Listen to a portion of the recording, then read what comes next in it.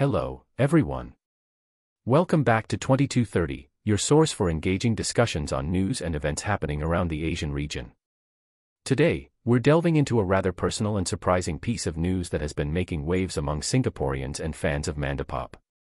Stefanie Sun, the beloved Mandopop singer and a national treasure to many in Singapore and across Asia, has found herself at the center of familial turmoil.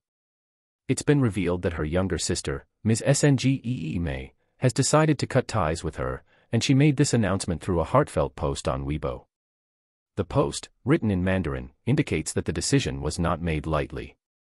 Ms. SNG stated that her relationship with Stefanie has been distant since 2019, and she expressed a desire for liberation after living in the shadows for over two decades.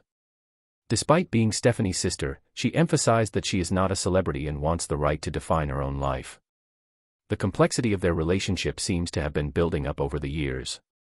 In May 2023, Ms. SNG hinted at a strained relationship with her mother, potentially stemming from her decision not to become a doctor. There were also hints of parental favoritism towards Stefanie, adding to the discontent. This family drama extends beyond the immediate family, as Stefanie and Ee Mei have an elder sister, Yee Kia, who works in the preschool sector. The details of the family dynamics are intricate and highlight the challenges that can arise even within close-knit families. The Instagram post from Stefanie in March 2018 was the last public display of the sisters together, indicating that the strain in their relationship has been ongoing for some time. Despite efforts from Ms. SNG to reconnect over the past three years, it appears that the relationship has reached a breaking point. As we explore this family's private struggles, it's essential to recognize the difficulty that family members face when they decide to cut ties.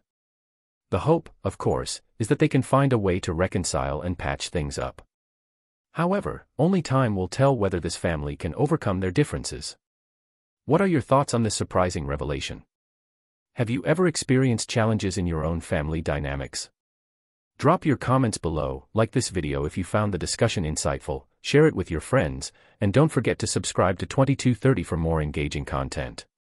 Let's foster a community of understanding and support. And until next time, stay informed, stay engaged, and take care. This is 2230, signing off.